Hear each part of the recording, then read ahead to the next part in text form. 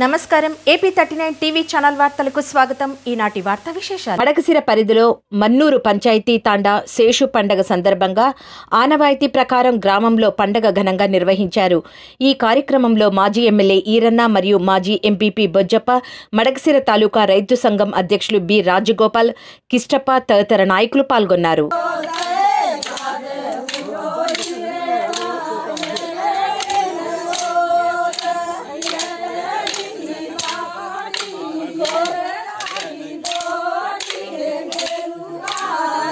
garganta, ele tá tudo mano.